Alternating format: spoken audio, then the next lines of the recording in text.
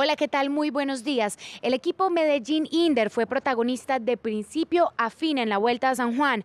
Ajustó dos subcampeonatos en la clasificación general con Oscar Sevilla y en la clasificación sub-23. Pero no se pierda porque hoy en nuestra misión deportiva tenemos una agenda muy polideportiva.